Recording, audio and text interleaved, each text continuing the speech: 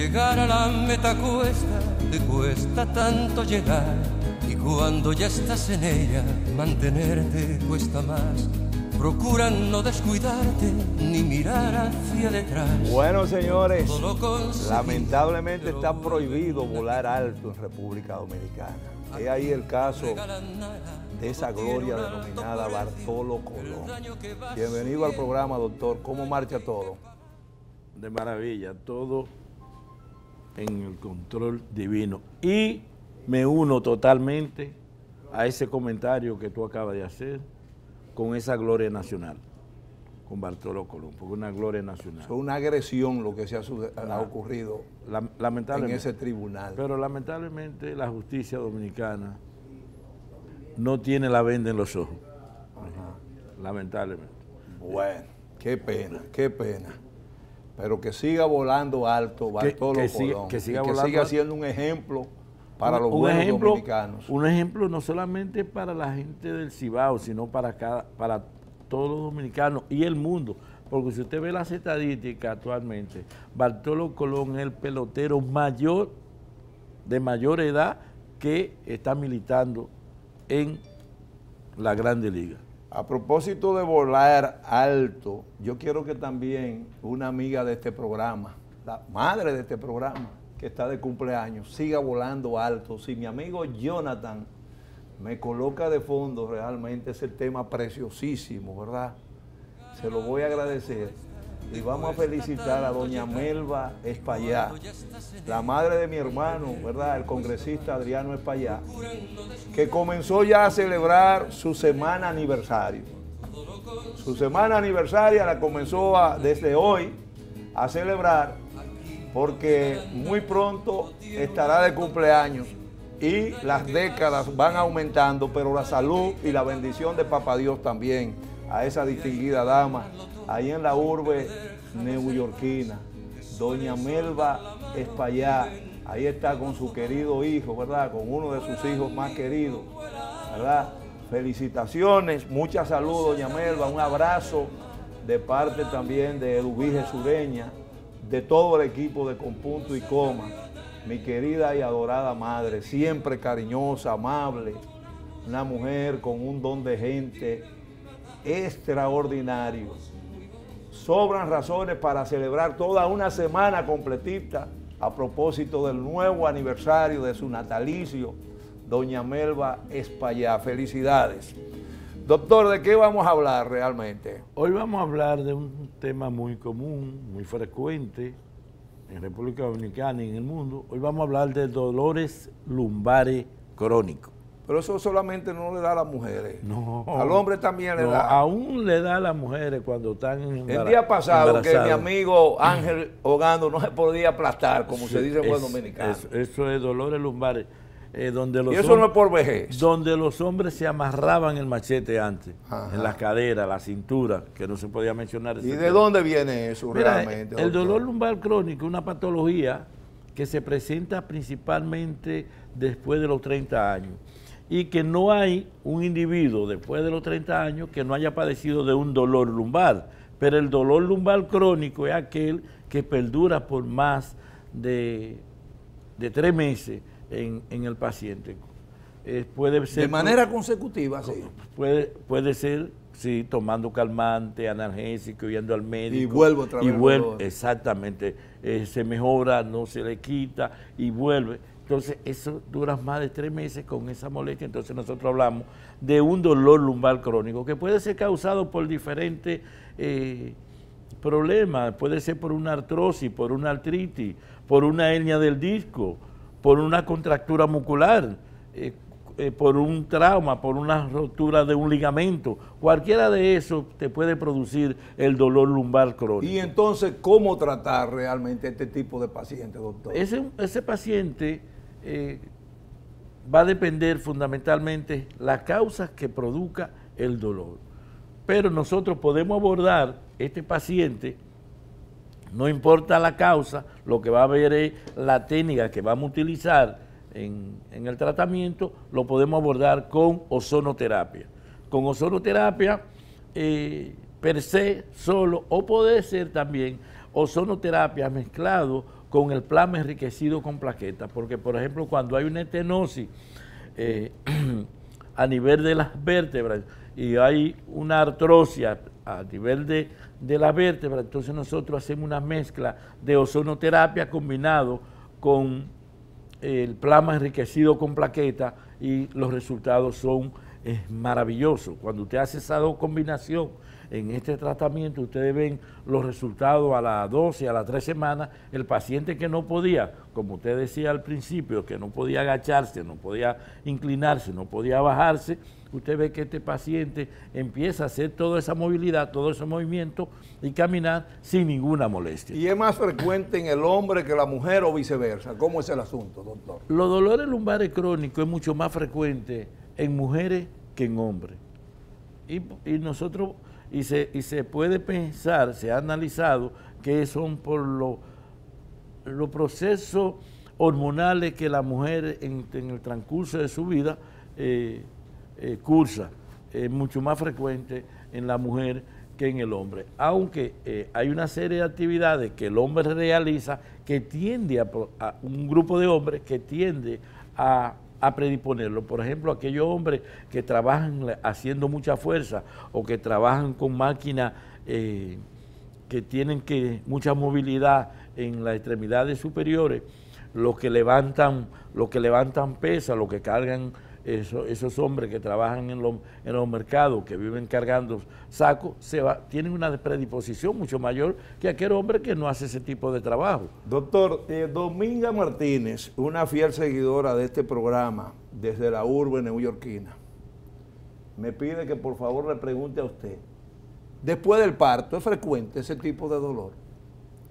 Hay, hay una coincidencia en mujeres que dan a luz, que el, parto es traumático, tiende a producirles después de eso eh, dolor a nivel de, de, la región lumbar, producto del gran esfuerzo que ella hace y además que hay una modificación eh, fisiológica, anatómica de la mujer cuando sale embarazada. Su anatomía totalmente eh, es modificada y dentro de esa estructura que se modifica es la columna, eh, la columna vertebral en la mujer, en la mujer embarazada, porque tiende, tiende a desplazarse hacia atrás por lo que ocupa el, el, producto en el útero, en la pelvis menor y sale de la pelvis mayor de la pelvis menor y se va a la pelvis mayor. ¿Y cómo tratar realmente esta patología, doctor Antonio Contreras Berrúa, utilizando el ozono? ¿Cómo? Este es un tratamiento totalmente ambulatorio, es un tratamiento que nosotros aplicamos directamente en, la, en el área afectada. Nosotros tomamos ese cuadrante 4x8, eh, como dicen los anatomistas, y nosotros infiltramos ozono directamente en, en la columna. Puede ser intradiscal o paravertebral. Es decir, nosotros tenemos, por ejemplo, en el caso de una hernia discal, tenemos dos hernias que están produciendo los dolores, L4 o L5, y nosotros podemos abordar directamente dentro del disco de la hernia o podemos abordar con ozono para vertebrar, que es una de las técnicas que se utiliza, que se ha popularizado en Cuba y que eh, eh, está, está eh, incidiendo en todo el mundo, 10 cc de cada lado de la hernia y ese paciente puede ir, no, hay que meterlo a sala de cirugía, un paciente que va ambulatorio, puede ir dos o tres veces a la semana durante cuatro o seis semanas y con eso es suficiente para usted eliminar la causa que produce el dolor lumbar crónico. Me imagino que esa patología también es muy frecuente, pienso, en los fisiculturistas, deportistas, ¿verdad?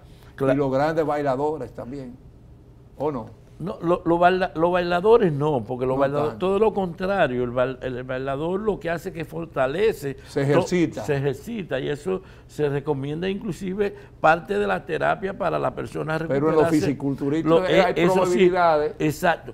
Por ejemplo, todos esos grandes atletas, todos esos grandes atletas pueden, se predisponen cuando hacen un ejercicio sin el debido calentamiento hace un desgarro de, esos ligamentos y entonces le produce el dolor lumbar crónico porque no hizo la, el ritmo que tenía que hacer antes de hacer el ejercicio. Y esas personas que tienen por su trabajo que permanecer mucho tiempo frente a un escritorio con poca movilidad, ¿verdad? Eh, de su cuerpo encima de una silla, claro, de un mueble. Esa, esa inercia que hay en esa posición delante, ahora con el asunto del computador, tiende a modificar la columna vertebral y te va a predisponer a padecer de una patología de este, este, tipo, te va a producir lo que es una escoliosis y la escoliosis es una de las causas que te produce el dolor lumbar crónico. Doctor, vamos a colocar en pantalla, ¿verdad?, la dirección del Centro de Ozonoterapia, doctor Antonio Contreras, ¿verdad?, esto es en la avenida Independencia 603 con el teléfono. Nosotros estamos en Independencia 603 en Gascue y pueden llamar a mi celular a 258-4744. Repítame el número, doctor, porque una señora me está haciendo señas aquí que usted fue muy rápido en el número. 809-258-4744. Puede llamar a mi celular, siete días a la semana. Me parece muy bien en Navidad, en Año Nuevo y siempre. No, todos los días nosotros trabajamos, aún, está, aún estando allá en la Sierra de Yamasá jugando domino. Me llaman y yo devuelvo la llamada. Por cierto, estuve en Yamasá. es una maravilla. Allá por donde los hermanos Guillén. Ah, es, una maravilla. Centro, Esos son, esa familia también ha aportado mucho a la cultura, a la cultura dominicana indiscutiblemente. Usted llega a Yamasá y pregunta por los hermanos Guillén e inmediatamente le dice, doble a la derecha, que a dos kilómetros de ahí están ellos. claro que sí. Usted va, usted, usted va, por y siempre con un referente positivo. ¿eh? Si no, usted va a en el aeropuerto Kennedy y pregunta a algunos empleados ahí, le dicen directamente que eh, dónde usted llega. Esta artesanía de los hermanos Guillén. Exactamente, ¿Eh? porque es así. Pero además por ahí mismo usted comienza a conocer las plantaciones de tabaco que hay en Yamasá, que eh, eso me ha llamado la atención. Yo creía que en Yamasá no había tabaco y hay mucho tabaco y bueno. Nosotros somos grandes productores, no solamente porque nosotros nos conocen por la producción de de cacao, de café, ¿verdad?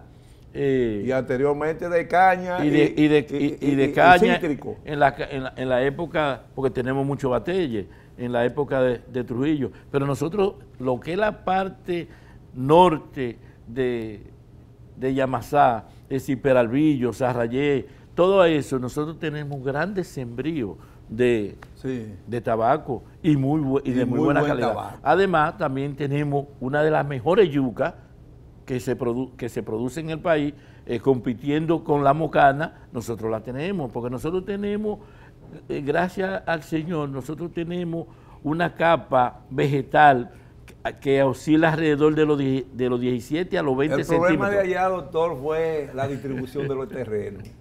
Es que hay demasiado latifundistas. Entonces por eso hay mucha miseria, a pesar de ser una comunidad Aún siendo una comunidad muy rica en lo que es su, vegetación y además está tan cerca de, del Gran Santo Domingo, porque hacemos frontera con, con el Distrito Nacional o el Gran Santo Domingo ahora, porque hacemos, hacemos frontera, hay una mala distribución. Me alegró mucho las condiciones de la carretera en sentido, en sentido general, sobre todo la que está entre la circunvalación y Yamasá porque en la circunvalación se está trabajando, porque están cayendo algunos, se están cayendo algunos laterales, algunos, sí, por el agua parece como que... Como, eh, que, como que, no se, utilizó el mejor material se el supone, mejor tratamiento. Se supone que esa obra se iba a entregar ahora el mes pasado, en noviembre. Entonces parece que la aceleración de, para entregarla ha contribuido, que coincide con estos aguaceros, y entonces ahí están eh, eh, los problemas que tienen.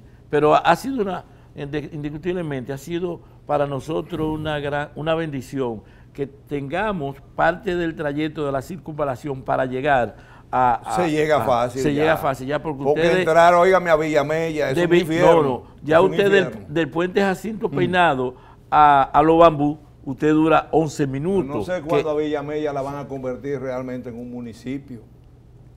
Una comunidad digna de mejor suerte, de gente tan trabajadora. Lo que yo necesito es que el próximo gobierno que venga, esos cuatro carriles que llegan del aeropuerto Joaquín Balaguer a, a Los Bambú, sigan para Yamasá. Así es. Sigan para Yamasá, porque Yamasá, la provincia de Monteplata, se merece eh, una carretera. Ok. No un camino vecinal. Ojalá que usted sea complacido en el nuevo gobierno. Doctor, muchísimas gracias por estar con nosotros. Como siempre, ¿verdad? Con informaciones interesantes. Llamen al doctor Contreras para que sigan recibiendo más orientaciones. Y la verdad que seguimos con punto y coma. En breve tenemos también otro invitado muy especial aquí en Con Punto y Coma, donde vienen a conversar aquellos que verdaderamente tienen algo que decir. Ya regresamos, ya regresamos.